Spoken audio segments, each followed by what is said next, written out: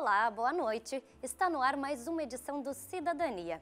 6 milhões e 300 mil pessoas cursam o ensino superior no Brasil, conforme dados do último censo da educação. Qual o perfil dos acadêmicos de hoje? Como programas sociais como o FIES e o ProUni estão contribuindo com o acesso às instituições privadas? E como está acontecendo a ampliação do acesso e a democratização do acesso ao ensino superior? Para falar sobre este assunto, nós recebemos aqui no programa hoje o vice-reitor da Unicinos, José Ivo Folman. E sempre no início do programa, eu lembro que você aí de casa pode participar. Envie a sua pergunta, sua sugestão, seu comentário para o facebook.com.br cidadania TVE e também através do telefone 3230 1530. Envie a sua pergunta, a sua participação. Muito boa noite. Bem-vindo então aqui ao programa, professor. Obrigada por aceitar o nosso convite. Sempre uma alegria poder participar. É isso. Então, eu gostaria de começar uh, conversando contigo sobre qual é o perfil atual dos estudantes, das pessoas que chegam ao ensino superior atualmente. Eu acho que está acontecendo uma diversificação bastante significativa no perfil dos estudantes eh, do ensino da educação superior no Brasil, devido exatamente a essas políticas públicas eh, que vêm sendo aceleradas eh, nos últimos anos. Eu diria não só o perfil do, do estudantado que mudou, a própria universidade está, está também passando por um processo de ressignificação, de, de reconceitualização como universidade. É, mas isso não é só do Brasil, isso é termos mais amplos. Em que sentido esse é. conceito da universidade está mudando? A gente até poderia ir para a palavra universidade. Universidade parece que é, sinaliza para, para uma, verter para o um. Né? Não, a, a, universidade hoje está sendo muito mais uma multiversidade. Né? É, um, é um espaço onde realmente eh, se está atento ao, ao diverso, ao, à pluralidade. Eu diria assim, um espaço de, de, de, de produção de conhecimento e de educação. Né? Ou melhor, a gente poderia dizer, é um espaço de educação, tanto a nível eh, das, de formação das pessoas, quanto a nível de produção do conhecimento. Cada vez a, mais amplo. A universidade está aí para libertar, para, para para fazer sair, para eh, libertar o conhecimento das suas limitações e libertar as pessoas.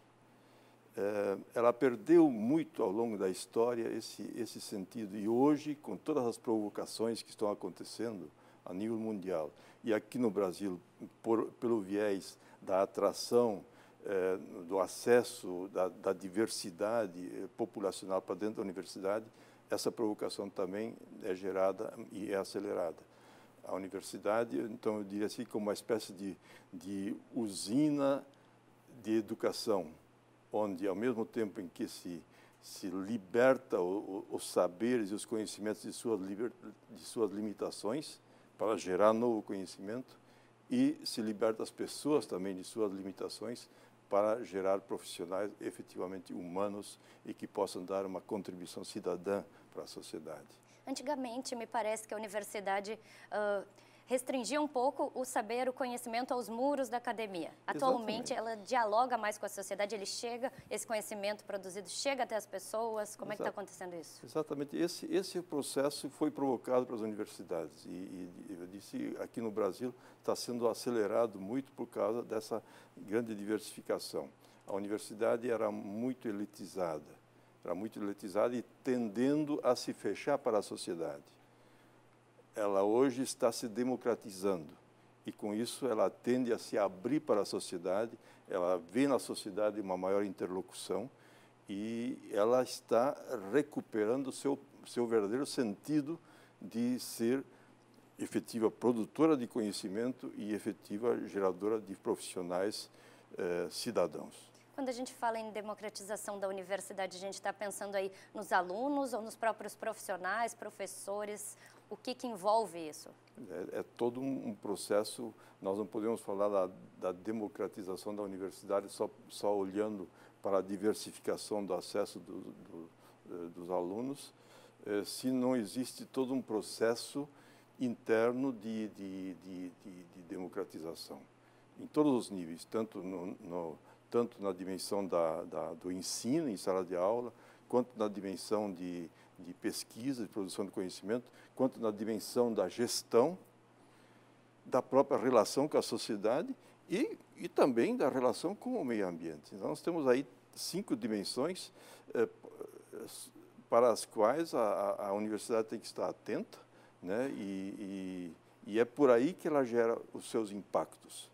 E o impacto central está na produção de conhecimento e na geração de novos profissionais. Como é que está o acesso das classes menos favorecidas ao, ao, ensino superior, professor? Isso tem mudado? As pessoas de classes com menos condições financeiras estão conseguindo chegar ao ensino superior? Nós estamos vivendo uma verdadeira revolução nesse sentido no Brasil. Isso é de, de uns 15 anos para cá, mais ou menos. Eu não tenho, eu não vou aí estabelecer limites de tempo, mas nas últimas duas décadas está havendo um, um, uma aceleração é, nesse acesso às, às camadas menos favorecidas para o ensino, para a educação superior. Existe um grande déficit é, da universidade brasileira com relação a isso. E grande, quais os principais enorme. fatores que é. levaram a isso? Acho que aí é uma questão de decisão política, de vontade política. Vontade política de realmente acelerar o, o processo de acesso à, à, à, educação superior. Aí várias medidas. A, a, o ProUni, por exemplo, acho uma política genial, uma política, uma, uma sacada genial é, nós, na, na Unicinos, nós entramos logo, porque entendemos, mesmo que nos prejudicasse inicialmente, porque nós já tínhamos todo um programa de bolsas, etc., é, como entidade comunitária filantrópica, né? É, o, o ProUni é, veio trazer novos elementos que com, complicou um pouco a nossa vida institucional no início, mas nós entendemos que, que se tratava de uma política pública de grande, é, de, de grande fôlego e entramos, entramos com todas as forças e hoje estamos muito satisfeitos com, com esse fato. Nós temos quase 3 mil alunos com bolsa integral né, é, do ProUni. É, é uma verdadeira universidade estatal gratuita dentro da nossa universidade. Né? E, e, isso gera um, um uma situação diferente dentro da universidade hoje.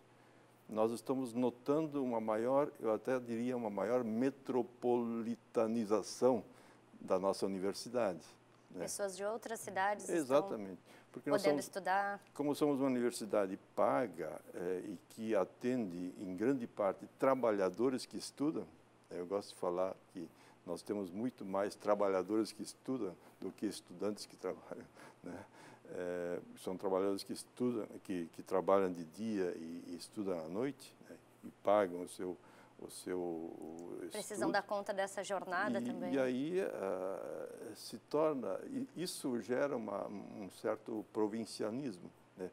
com o ProUni eh, chegaram a, a Unicinos estudantes de outros estados de, de, de outros locais e que permanecem mais tempo no campus né?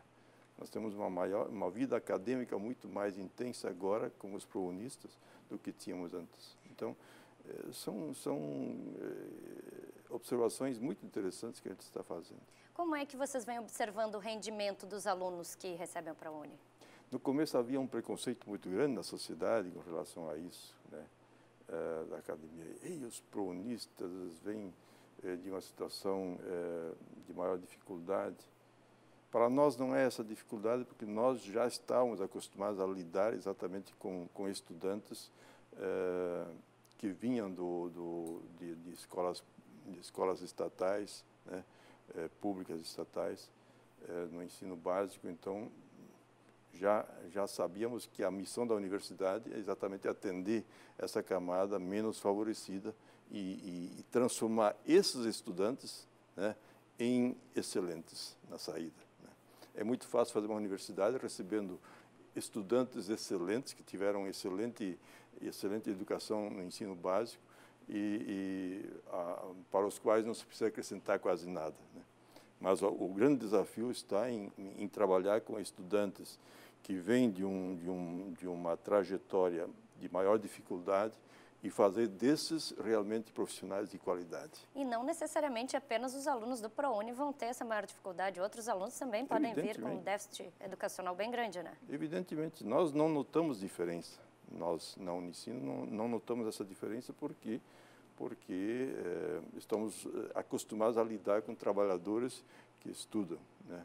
E que muitas e até essa dupla jornada dos estudantes, professor, acaba contribuindo para o enriquecimento acadêmico. Eles trazem outras vivências do seu ambiente de trabalho, enfim, de alguma forma isso entra na universidade, essa experiência prática que eles trazem? É. Esse é um grande desafio, um grande desafio para a sala de aula, desafio para os professores efetivamente saberem aproveitar os, os saberes né, que vêm da, da da biografia desses trabalhadores, desses, eh, da vivência, da história de vida dessas pessoas que vêm estudar. Então, esse é um grande desafio. Nem sempre esse, eh, se tem tempo suficiente para, para fazer jus a esse desafio. Né? Mas é o desafio que, que estamos muito conscientes e, e, graças a Deus, acho que estamos conseguindo ótimos resultados. Com certeza. Tanto que a, a Unicinos eh, recebeu, eh, assim, eh, está sendo, eh, na última avaliação do MEC, foi colocada como a, a primeira, eh, a melhor graduação né, do ensino privado no Brasil. E além do ProUni, professor, vocês têm outros programas, tem o FIES, tem outros programas de financiamento, de bolsas que os alunos podem se candidatar? Como é que funciona isso? É, o FIES é uma grande alternativa, complementar ao ProUni, inclusive, que há muitos ProUnistas de tempo de bolsa parcial que também que complementam então eh, seus apoios financeiros através do FIES. O FIES é uma Aliás, é, na verdade, essa é uma alternativa para qualquer instituição de ensino superior, não? Os alunos podem buscar o FIES Exatamente. ou outros programas de, de financiamento para poder estudar naquele período. É. O financiamento da educação superior é, é uma alternativa boa. Né?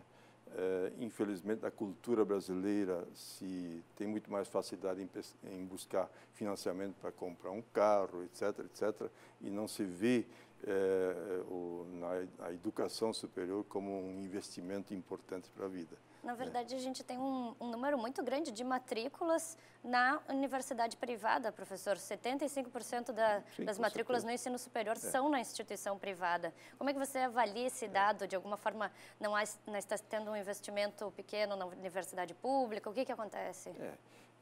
Existe no, no Brasil um fenômeno que, que, às vezes, a gente facilmente cria uma certa dicotomia entre o público e privado.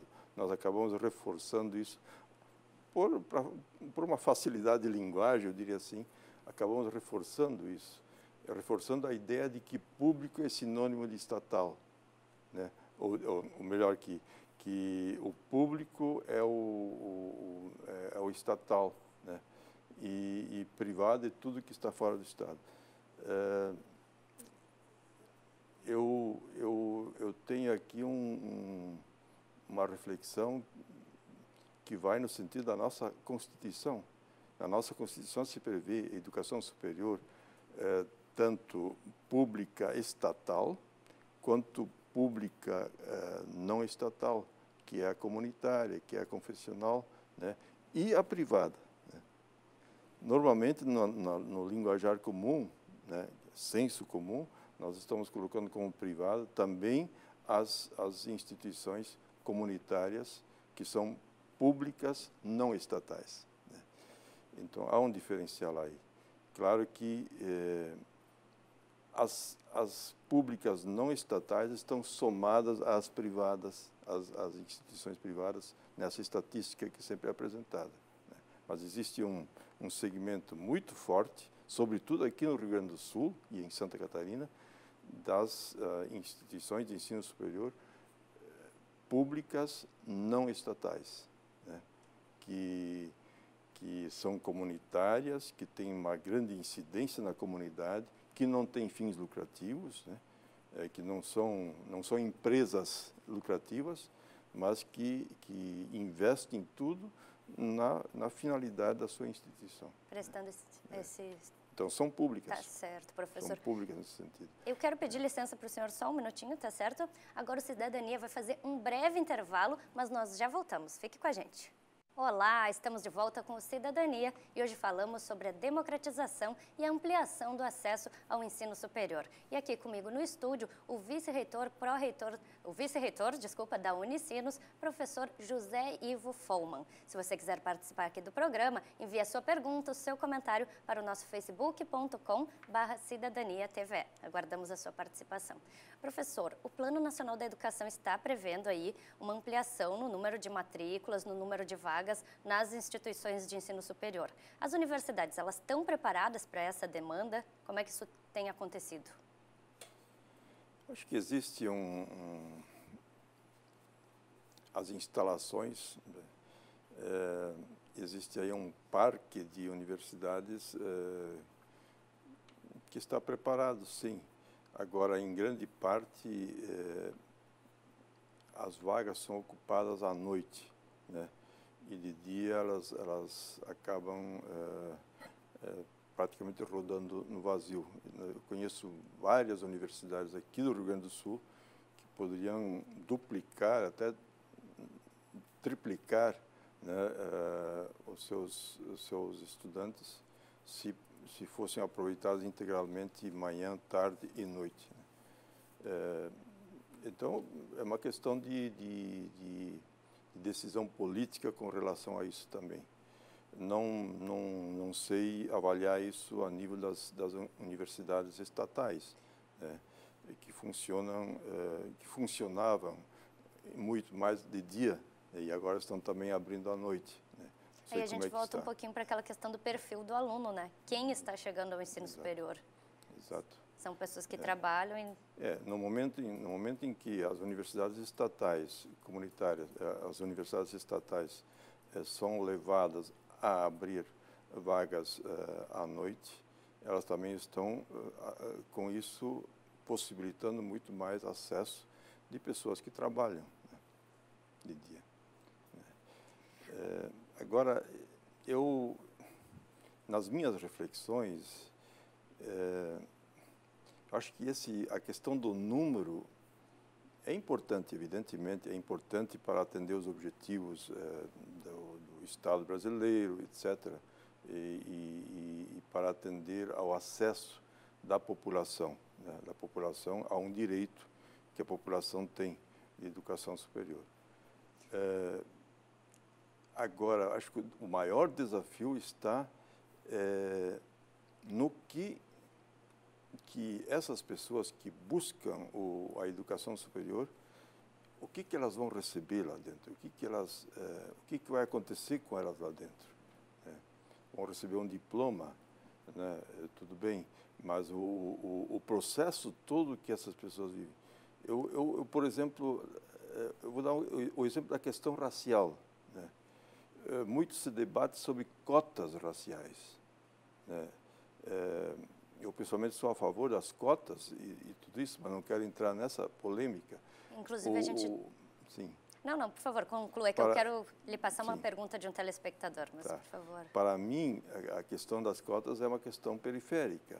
A questão fundamental está na própria educação das relações étnico-raciais se não se gera um, um verdadeiro processo de educação das relações étnico-raciais na sociedade e, e, a, e se o, a educação superior não alavancar isso, porque os profissionais, os professores que trabalham na educação básica são formados na educação superior, se a educação superior não for o espaço onde isso realmente é puxado, é, cotas não vão adiantar nada, porque a sociedade vai continuar na mesma. Inclusive, acho que a pergunta do nosso espectador, o Jorge, aqui de Porto Alegre, obrigada, Jorge, pela participação. Ele envia uma pergunta ao senhor. Ele quer saber como a Unicinos ou outras instituições de ensino superior têm tratado a questão da democratização do acesso ao ensino superior pelos descendentes da escravidão. É, essa, essa é uma questão, eu agradeço essa, essa pergunta, eu acho que ela, ela é de suma importância na sociedade brasileira. Felizmente, a sociedade brasileira hoje está começando a passar a limpo é, é, isso na história. Temos um, um, déficit enorme com relação à a, a, a, maioria da população brasileira, que são afrodescendentes. Né? Está estatisticamente comprovado que é a maioria da população brasileira. Evidentemente, não aqui nos estados do Sul, mas no. no então, a, eu estava eh, exatamente dizendo que a, a questão está na educação. Não adianta nós nós tentarmos resolver simplesmente através de cotas, que é importante, sim, se não houver um, um, um real processo de, de, de, mudar a mente e os corações da sociedade, na sociedade como um todo, tanto de brancos quanto de negros. É necessário que haja um processo de, de transformação pessoal na, na mentalidade, na maneira de, de, de, encarar as coisas, na maneira de, de se relacionar, no, no processo de, de reconhecimento. Enquanto eu não reconheço verdadeiramente o outro na mesma dignidade que eu tenho, estamos continuando a reproduzir as mesmas discriminações e o Brasil é um país tremendamente preconceituoso, um país que tem uma discriminação racial sutil, que às vezes se manifesta, né? É, que eu vejo que a educação superior tem sim um papel chave, fundamental, para ajudar a acelerar esse processo de passar o Brasil a limpo. Daí tá o importante papel da universidade, né, do ensino Sim. superior, também é, nesse sentido, né, professor? Nós, Além da questão científica, é. as pesquisas, daí tá a importante questão existe, social. E Existem queria... muitas, muitas experiências uh, em várias instituições. Eu conheço várias instituições de ensino superior que têm excelentes experiências. Uh, eu poderia falar da minha instituição, mas, mas aqui uh, eu gostaria muito mais de me referir a, a em geral, as instituições de ensino superior que pelo Brasil afora existem, existem experiências fantásticas, ainda muito, no todo, ainda muito incipientes. Infelizmente, existem ainda universidades que nem começaram a pensar em, em colocar, por exemplo, no seu currículo disciplinas que tratem diretamente da educação das relações étnico-raciais. Aliás, nós vivemos na sociedade, no mundo todo, uma situação que me deixa uma pergunta muito grande. Será que isso que aconteceu na França é, nesses últimos dias, será que isso não reflete exatamente que, que a, própria, a, a humanidade como um todo não é, está, de certa forma, perturbada por certos, é, certas certas limitações, certos fanatismos. E eu não falo só do fanatismo religioso, não. Né? Porque Rousseau já dizia, existe um ponto em que o, o fanatismo ateu se encontra com o fanatismo religioso. Ou seja, os extremos são perigosos. É. Extremo sempre é perigoso. Para evitar esses extremos perigosos, preconceitos e discriminações, é necessário que haja sérios processos de educação. E eu gostaria de falar em educação, assim como nós falamos aqui no Brasil de educação das relações étnico-raciais, assim nós poderíamos, a nível mundial, provocar um processo de educação das relações religiosas. Né? Não faria nada mal para a humanidade. Tá certo, professor. Olha, por hora, eu quero agradecer a sua presença hoje aqui. Muito obrigada pelas suas contribuições, tá certo? E em outros momentos vamos continuar conversando. e o Cidadania de hoje vai ficando por aqui. Uma boa noite para você. Obrigada pela sua companhia. Até a nossa próxima edição.